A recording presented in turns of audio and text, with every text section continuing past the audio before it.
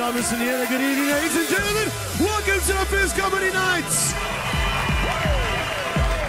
I think uh, Schalk said it well. I've got nothing to lose um, except my reputation, and uh, no, not even. No, let's be on, let's be honest about this. I don't think people's expectations are very, very high.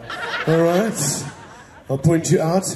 On that, so if you're American going into the bathroom and you're American coming out of the bathroom, what were you in the bathroom? European. For me, it's just all about having a bit of a laugh Friday night, and I'm happy to say that it's a sold out venue. Um, I'm just here to have a good time and give the people a good time. Look, my comedy is all about my life and what I've been through. So the surprise would be finding out about more about me, basically. My expectations for today, it's going to be a lekker time. It's Jacaranda people out there, man. The aunties are already out there. You can smell panache in the air. I love it. It's my people. So yeah, going to have fun. I expect it to be a very lekker show. I mean, to be honest, I thought when they asked me, I thought it was to be like a comedy night. You know, 100 people sitting on lounge chairs. Here, look at we get here.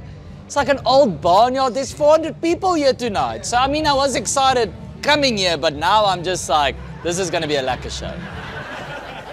Absolute sincere thank you to these guys. Alfred Adriaan. Thank you, Martin. It was lovely. It was amazing. It was very- Best time. Yeah, Oscar. So lekker.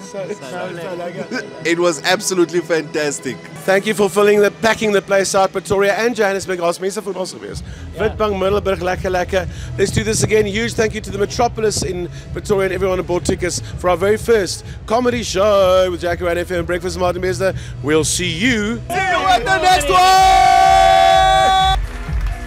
Jacaranda FM.